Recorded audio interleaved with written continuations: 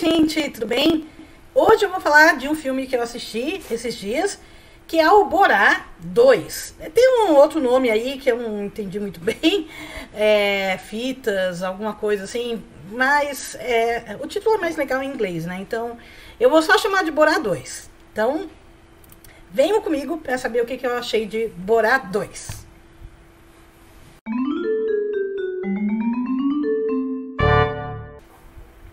Então, esta semana eu vi o Borá 2, que está sendo muito falado principalmente por duas coisas, né? Dois fatos.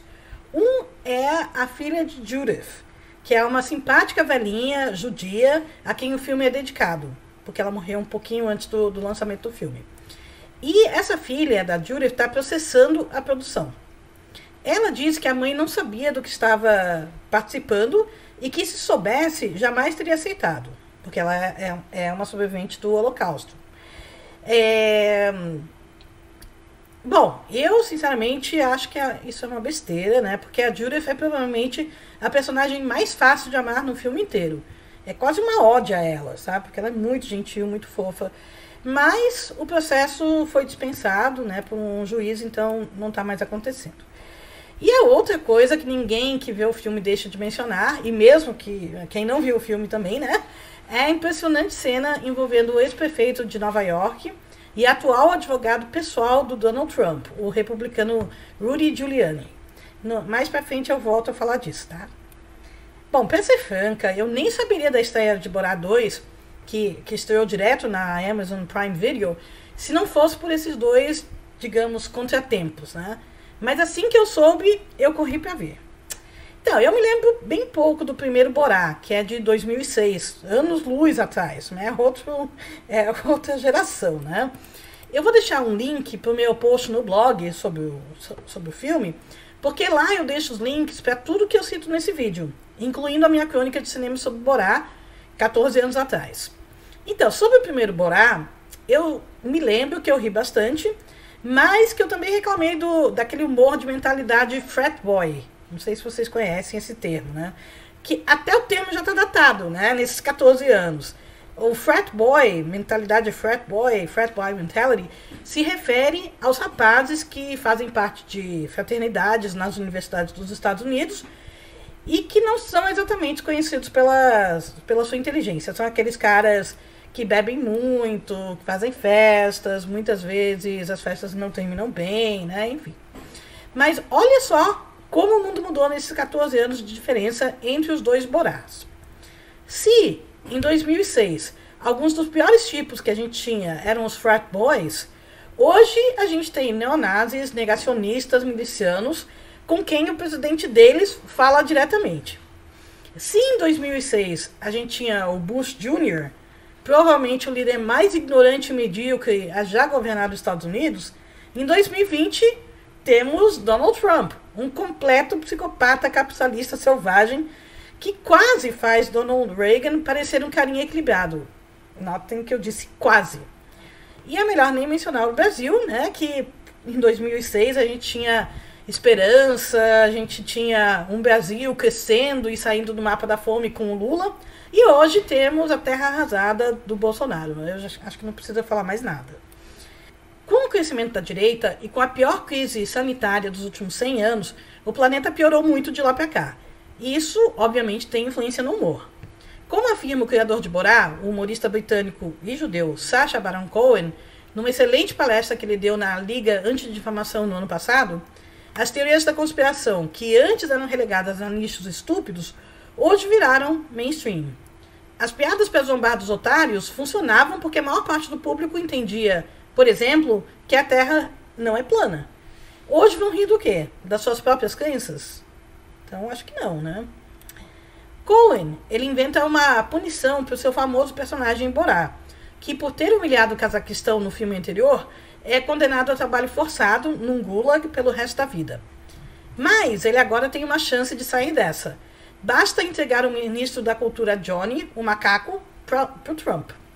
E nem dá pra gente rir, né? Porque o macaquinho, que é também ator pornô e tal, né? É melhor que o nosso Mário Frias. Só que o Borá não pode chegar perto do Laranjão. Pois no primeiro filme, ele, o Borá, não o Trumposo, né? defecou na frente de um hotel Trump Tower. Então, ele opta por tentar dar um macaquinho ao vice-presidente Mike Pence.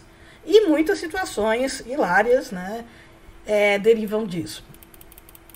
Quem brilha no filme é a atriz búlgara Maria Bakalova, que na vida real tem 24 anos, não 15 como né, eles dizem no filme. Ela foi escolhida entre 600 atrizes para o papel de Tutar, que é a filha de 15 anos do Borá.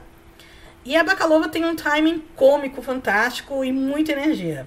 Então, anote aí, porque até porque o Cohen já está fazendo campanha para isso. E eu acho que talvez ela ganhe melhor atriz coadjuvante no próximo Oscar. Porque, sem dúvida, o filme faz dela uma estrela. E minha cena favorita na produção é com ela. É uma, não sei se vocês já viram o filme, se vocês se lembram. Aliás, isso aqui não vai ter spoilers, imagino. Mas é uma cena em que depois de comprar um cupcake, aquele bolinho, né, sei lá, é, com um mini bebê de plástico em cima, e acidentalmente engolir o bebê, ela sem querer engole o bebê de plástico, né? Ela e o pai, o Borá, vão ao Crisis Pregnancy Center, que são centros evangélicos para convencer mulheres a não abortarem. Então, para quem não sabe, tem mais de 3 mil centros desse tipo nos Estados Unidos. Eles geralmente ficam próximos a clínicas onde uma mulher ou uma menina pode realizar um aborto legalmente, já que nos Estados Unidos, felizmente, o aborto é legal desde 73. Mas, nesses centros, eles enganam as pacientes. Eles fingem que irão resolver o problema dessa gravidez indesejada, quando na realidade eles vão fazer de tudo para assustar a pessoa a não abortar. Então, esses centros, óbvio, né, não são atendidos por médicos, mas por pastores. E é isso que acontece em Borá 2. Borá diz: Eu me sinto mal porque eu pus o bebê dentro dela. Porque ao tentar ajudar a filha a tirar um mini bebê da boca, ele o empurrou para dentro da garganta dela, né? E o pastor, acreditando tratar-se de um bebê de verdade, responde: Não se sinta mal. Encerrando com: é, Deus é quem cria a vida e ele não comete acidentes. Outra cena bizarra, e hilária também, né, pelo nível do absurdo, é homem que Borá, disfarçado, é, leva a filha para um baile de debutantes. No meio de uma dança típica, entre aspas, tá, do, do Cazaquistão, a jovem Tuta levanta o vestido, revelando uma calcinha cheia de sangue menstrual. As expressões nos rostos do, dos combinados são impagáveis. Eu acho que eu fiz essa cara também, né? Agora, um adendo antes de continuar, né? Sobre o Cazaquistão. Esse país é, que é uma ex-república soviética e que tem 18 milhões de habitantes, não é um mini país, existe de verdade. E, aliás, é o nono maior país do mundo em tamanho. E não preciso nem dizer que ele não ficou nada feliz ao ser alvo de calúnias, difamações, piadas xenofóbicas já no primeiro Borá. Ninguém gostaria disso, né? Imagino. Não sei o que eles estão achando do segundo Borá. Mas o Ministério de Turismo né, do Cazaquistão adotou como slogan uma fala do Borá. Cazaquistão, nice. Eu não sei como falar esse nice do Borá fala, né? Bom, como sempre no mockumentary, que é um mock né, documentary, um falso documentário, como este, a gente fica pensando no quanto é real e quanto é encenado. Eu li para que essa cena, para essa cena do baile, Figurantes foram contratados. Eles receberam 100 dólares cada um para participar de uma história coming of age, ou seja, de transição para a vida adulta. Eles não sabiam o que iam ver, né? Estavam é, preparados para ver alguma coisa. E não sabiam que era o, o Borá também, né? Porque o Borá está disfarçado nessa cena. Mas outras figuras, né, são bem reais, não são figurantes. Como, por exemplo, o cirurgião plástico que cobra 21 mil dólares para colocar silicone no seio de uma menina de 15 anos, né? É, o Borá quer saber se ele não pode colocar batatas, mas não qualquer batata de boa qualidade, né? Em vez de silicone, isso não é mais barato. É, outros que são reais são os lunáticos integrantes do é, QAnon, QAnon. Eu não sei pronunciar isso daí, é a primeira vez que eu tento pronunciar, né? Mas é engraçado ver esses grupos, né, lunáticos, condenar a teoria da conspiração sobre mulheres do Cazaquistão, né? É, aí também tem uma cena com supremacistas brancos num protesto, o encontro das mulheres republicanas, né? E vários outros, e tudo isso é de verdade. Então, uma das poucas personagens queridas é, é a babá negra da Tutor, né? E ela é uma avó e babá na vida real, chamada Janice Jones. E os produtores do filme falaram para ela que ela estaria num documentário em que uma jovem garota está sendo preparada para se casar com um homem muito mais velho. Janice recebeu apenas 3.600 dólares pela sua participação, mas depois o seu pastor organizou uma vaquinha e arrecadou 50 mil dólares para ela em apenas três dias. Tomara que esse dinheiro realmente vá para a Janice, né? De qualquer jeito, eu tenho certeza que não vai faltar mais emprego para ela, porque ela é estupenda. É realmente uma pessoa incrível. O que nos leva à já clássica cena com o Rudy Giuliani, né? Então, a Tuta finge ser uma repórter que vai entrevistá-lo numa salinha de um quarto de hotel. Ultraconservador Giuliani se comporta de forma patética, embasbacado com a graça da menina, até que os dois vão para o quarto. Giuliani se deita na cama e põe uma mão para dentro da sua calça. Isso depois de tocar nas costas da garota. Nesse momento, Borá, que está disfarçado de mulher, entra no quarto gritando: Ela é muito velha para você! E se oferece para transar com Rudy em vez dela. Em seguida, pai e filha saem correndo do hotel. A cena, que foi filmada em julho deste ano, sem que Juliane soubesse que estava no filme, mas ele sabia que iria ser entrevistado por uma jornalista mirim de 15 anos, né? É, de um ex-país comunista, né? De um país de direita agora. E essa cena é realmente chocante. Quer dizer, é assim que os homens brancos velhinhos agem quando estão sozinhos com adolescentes, né? O Reaça, ele deu umas explicações bem furadas, né? Diz que só estava ajeitando sua camisa para dentro da calça, mas não é o que parece mesmo. Vocês, vocês vejam o filme para ver, não é mesmo. É, o Cohen, né, que faz o Borá, ele declarou que as pessoas devem ver o filme e decidir por si próprias sobre o que ocorre na, na cena. Ele diz assim: Eu diria que se o advogado do presidente acha que o que ele fez é um comportamento adequado, só o céu sabe o que ele faz com jornalistas mulheres em quartos de hotel. Vejam o filme. É o que é. Ele fez o que fez. Pra gente está bastante claro.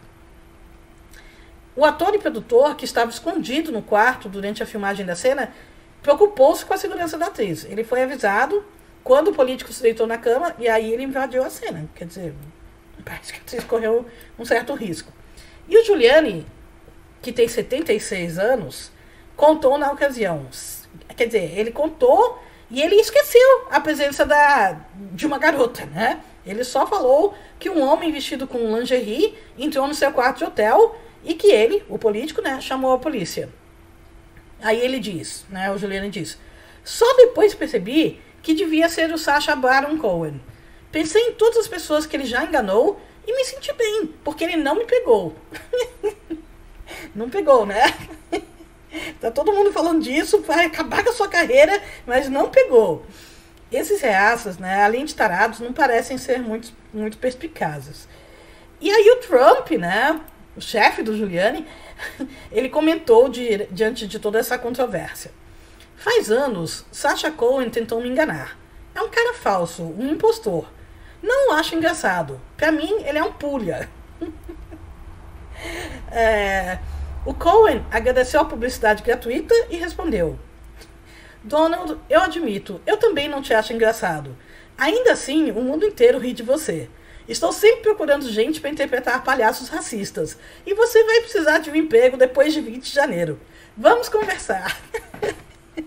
Perfeita a resposta, né? Na cara não, Cohen. Né? Nem precisava de mais essa humilhação pública para o trumpista. Uma cena no, no filme já diz tudo. É uma cena em que a Tuta dá dentro do carro com o Borá e ela pergunta se ela não pode se oferecer para algum outro amigo do Trump além do Mike Pence, né? E aí ela mostra uns quatro ex-assessores, né? A foto de quatro ex-assessores é, no celular e ela vai perguntando: e esse? E esse, né? E para todos, incluindo o guru da extrema-direita Steve Bannon, Borá diz: esse tá preso, esse tá preso em casa, esse tá na cadeia. E Oxalá que este também seja o destino de Trump em 2021, né, no ano que vem, e também do seu cãozinho de estimação, Bozo.